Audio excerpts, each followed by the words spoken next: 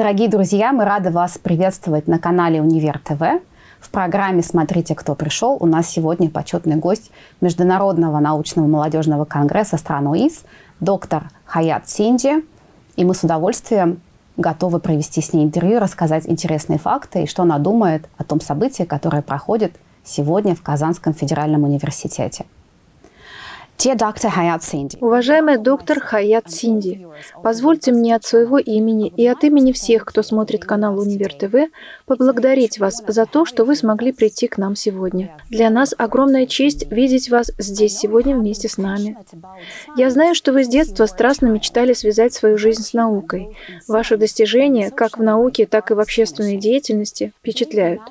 Будучи послом доброй воли юНЕСКО, как бы вы определили свою миссию в те непростые времена, которые мир сейчас переживает. Большое спасибо за приглашение. Мне приятно быть сегодня в этой студии. Когда я узнала о том, что ЮНЕСКО назначают меня послом доброй воли в области продвижения научного образования, я была искренне тронута. И вот уже 12 лет я занимаю эту должность. И это говорит о том, что моя работа приносит результаты. По крайней мере, я на это надеюсь. Моя миссия заключается в том, чтобы помочь молодым людям, особенно девушкам, начать заниматься наукой. Когда я росла, я читала рассказы об ученых, которые много сделали для человечества, но там не было ни одной женщины. И я часто спрашивала отца, они действительно были, эти ученые? И он отвечал, конечно, почему ты задаешь такой вопрос? Там нет женщин, отвечала я.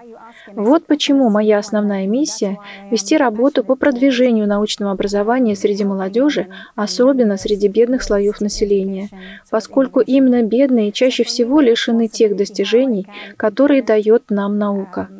Быть бедным вовсе не означает, что у тебя не хватает способностей или таланта заниматься наукой. Поэтому моя задача – дать людям из бедных стран возможность самим решать с помощью научных достижений те проблемы, которые именно для них являются жизненно важными. Большое спасибо за ваш искренний ответ и за все то, что вы делаете по продвижению научного образования. Вы являетесь основателем и президентом Института инноваций, который часто связывают связывают со словами «воображение» и «изобретательность». Почему вы выбрали именно эти два слова в качестве основной концепции вуза? Вы считаете, миру нужна молодежь, способная принимать нестандартные решения? Молодежь – это наше будущее. Это движущая сила в развитии любого общества. Воображение – это то, что позволяет нам свободно мыслить, а изобретательность помогает продвигать в обществе наши научные идеи. Я искренне убеждена, что все, что мы делаем в жизни, имеет цель. Поэтому с самого раннего возраста необходимо поддерживать и наставлять молодежь, чтобы они знали, как использовать способности, которые у них есть, на общее благо. Достижение устойчивого развития может стимулировать изучение сложных наук, таких как инженерия, например. И это касается прежде всего женщин. Они видят в этом особую потребность.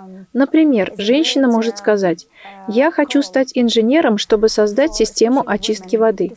Ведь из-за отсутствия питьевой воды каждый год умирает примерно 5 миллионов детей. Или я хочу стать инженером, чтобы обеспечить своему району доступ к возобновляемым источникам энергии, чтобы у нас была возможность учиться и работать, а у врачей всегда было электричество, и они могли проводить сложные операции в больницах. Или я хочу выучиться на биотехнолога, чтобы у меня был шанс улучшить или модифицировать те сельскохозяйственные культуры, которые являются основными источниками питания в моем регионе, чтобы у людей была еда. Я верю, что именно воображение и изобретательность могут помочь в достижении этих целей.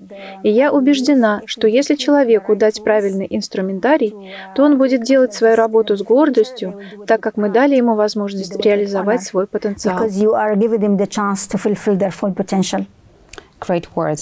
Потрясающе сказано. Спасибо большое. В одном из своих интервью вы сказали, что трудные задачи никогда не исчезают. Они лишь переходят на новый уровень. С какими трудностями вы сталкиваетесь в настоящий момент?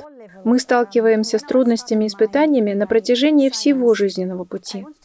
В самом начале моей научной карьеры мне пришлось убеждать свою семью отпустить меня одну в Великобританию, чтобы учиться на фармацевта. И это было нелегко. Так как я родилась и выросла в Мекке, в традиционной мусульманской семье, родителям мой выбор дался достаточно сложно.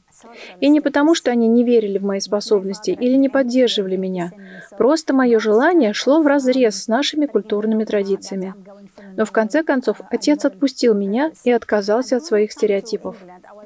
Когда я приехала в Великобританию, ни один вуз не принял меня, так как мой уровень знаний был недостаточным, чтобы поступить в университет. Мне пришлось вернуться в школу, чтобы подтянуть мои знания. И даже когда я начала заниматься биотехнологией, многие говорили, это не для женщин, и предлагали заняться биологией или медициной, так как считается, что инженерные профессии больше подходят для мужчин. И для меня это был своего рода вызов. Если я женщина и ношу платок, это не означает, что у меня нет способности заниматься этими науками. Мне нравится исследовать. И мне кажется, это то, что я привнесла в ислам – желание изучать, исследовать и задавать вопросы.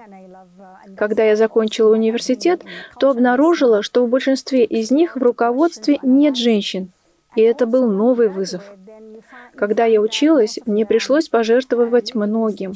Я скучала по семье, родственникам, по семейным праздникам, но моя тяга к знаниям, желание заниматься наукой помогли справиться с этими сложностями. Поэтому трудности никогда не заканчиваются. Сейчас мне приходится отбирать именно те проекты, которые могли бы улучшить жизнь в конкретном регионе, находить для них финансирование и при этом находить время на общение с семьей. Так что трудности не исчезают. Как говорят, чем больше ты достиг, тем больше препятствий может появиться на твоем пути. Думаю, вы со мной согласитесь. Я абсолютно с вами согласна. Вы входите в список 100 влиятельных женщин, которые вдохновили мир. Что вы думаете о роли женщин в науке и в политике, особенно тех, кто практикует ислам? Uh, Очень хороший вопрос, спасибо. Давайте поговорим об истории. Женщины стояли у истоков образования и были причастны к созданию первых университетов.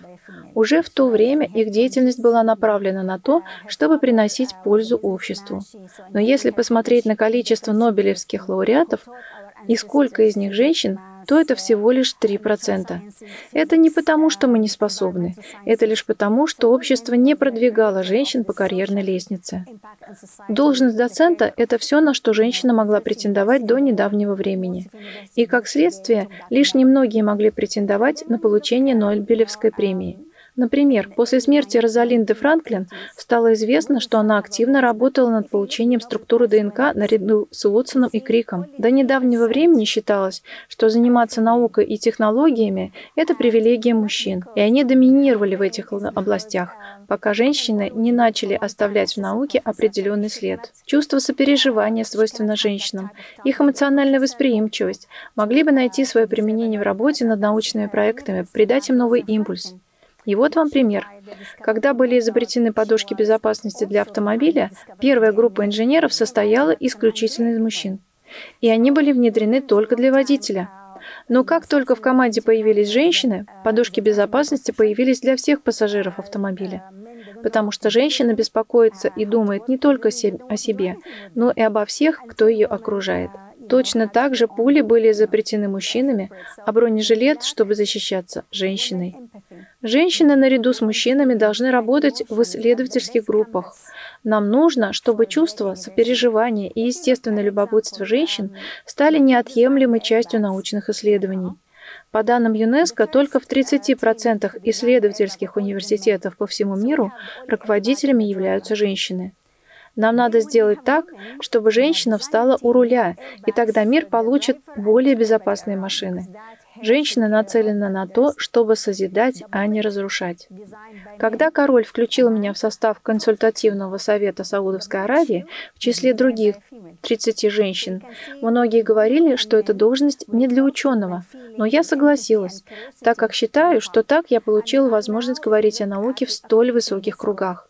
Я убеждена, Чем раньше мы начнем говорить молодому поколению о важности научных открытий, тем больше у нас шансов получить позитивные изменения. Женщины должны быть представлены во всех сферах общественной и политической жизни, чтобы делиться своим опытом и своим мнением и помогать будущим поколениям. Мир был бы гораздо лучше, если бы женщин в науке и политике было бы больше. Да, я с вами согласна. Вы часто говорите, что важно найти свою миссию в жизни и внести вклад в развитие человечества. Как вы думаете, должны ли педагоги помогать молодежи в поисках этой миссии? Я думаю, что мы можем действительно помочь, потому что все хорошее в жизни начинается с вдохновения. Нас может вдохновить какая-то личность, или прочитанная книга, или семья, отец, мать, и мы делаем выбор в пользу определенной профессии. И я думаю, что молодежи сейчас не хватает ролевой модели. Как я говорила ранее, мне не хватало ролевой модели женщины-ученого, которая сказала бы мне, «Да, ты это можешь». Я раньше видела Эйнштейна, Марии Кури, Авиценну, мусульманских ученых в тюрбанах, но они были не похожи на меня. Это была другая эпоха, другой век, что-то невозможное. Но мой отец говорил мне, «Хаят, имея образование, ты можешь достичь всего в жизни». Такие простые слова, но я думаю, они дали мне такое вдохновение. Нам нужно также направлять молодежь.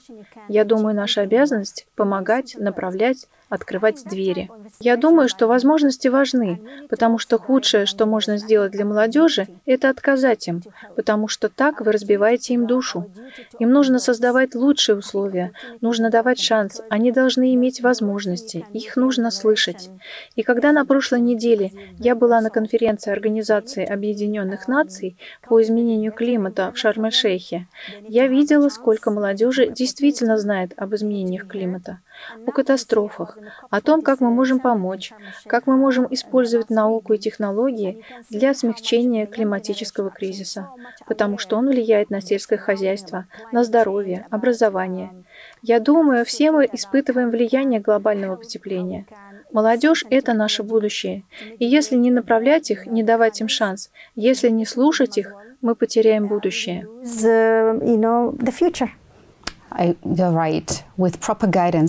Да, вы правы. Только если помогать и мотивировать молодежь, мы сможем дать нашей планете шанс на выживание. Какие качества, по вашему мнению, необходимы человеку, чтобы быть успешным? И как вы определяете успех для себя? Очень хороший вопрос. Я всегда спрашивала себя, кто такой настоящий ученый? Действительно ли я достигла того, чего хотела в жизни? Успешна я или нет? Для меня верный ответ – реализовать мечту, если она есть. Прежде всего нужно поверить, что вы можете сделать это. Я имею в виду победить страх. И мой отец научил меня этому. Надо быть уверенным в себе и иметь позитивный взгляд на мир. Прямо или косвенно, но люди часто имеют свои суждения. У них всегда есть мнение о том, как вы выглядите, как вы говорите, какой сферы вы интересуетесь, есть ли у вас акцент или нет акцента, откуда вы. И нам очень легко попасть в эту ловушку. Поэтому относитесь к своему разуму как к хранителю. Смотрите на положительные стороны. Для меня искренность – это одна из ключевых составляющих, а еще упорство и позитивность. И если сочетать это со страстью, то невозможно пойти по неверному пути. И мы пытаемся достичь, чего хотим, и когда достигаем, всегда находится что-то еще. Возможно, это заставляет меня идти дальше. Для меня защита докторской диссертации была всего лишь паспортом в новую жизнь, где я могла принести пользу обществу, что-то улучшить. Мы живем в быстро меняющемся мире, в котором всегда существуют вызовы, проблемы, и мы – часть этого общества. Нам нужно быть уверенными, что мы живем благополучно и достойно. Мы должны стремиться сделать жизнь и окружающую среду более безопасной для женщин и детей, обеспечить доступ к чистой пресной воде, электричеству, еде, транспорту. Поэтому я уверена, что если ты искренен, проявляешь упорство и остаешься позитивным, плюс делаешь все с энтузиазмом, то совершить что-то неправильное просто невозможно. Um, it can make, it can go wrong with this. Thank you so much. Спасибо большое. Я полностью согласна, что позитивный взгляд на мир – это именно то, чего нам всем сейчас так не хватает. Нам надо попытаться смотреть позитивно на то, что происходит сейчас. Ваша карьера, ваш профессиональный рост и достижения впечатляют. Вы очень много сделали, чтобы этот мир стал лучше. Как сохранить интерес к тому, что ты делаешь, как можно дольше? Я думаю, что меня побуждают к действию бедные страны. Меня очень расстраивает и мне больно, когда я вижу, что бедные люди лишены многого. Но это также воодушевляет меня идти дальше.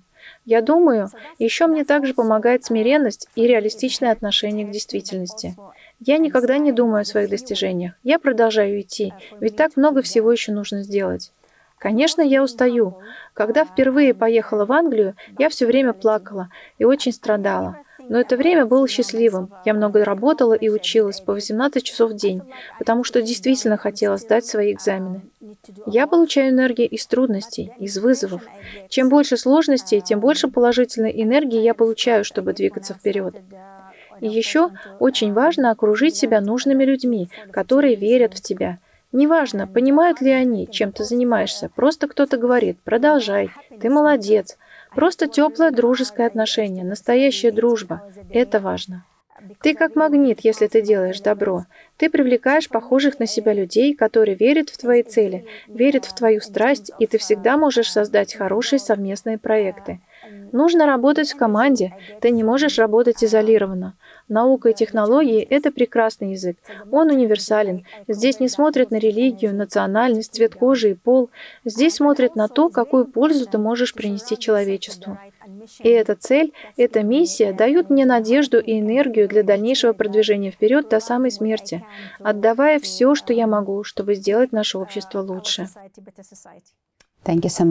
Спасибо. Полагаю, что ваша речь могла бы стать хорошей мотивацией для молодежи, особенно для тех, кто собирается заниматься наукой, двигаться вперед и каждый день пытаться стать лучше. Я надеюсь.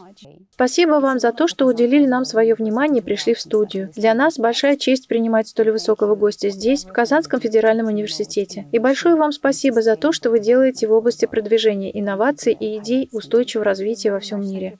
Спасибо вам за приглашение. Благодарю за интересные вопросы. Дорогие друзья, спасибо, что были с нами сегодня. У нас в гостях была доктор Хаят Синди. До новых встреч!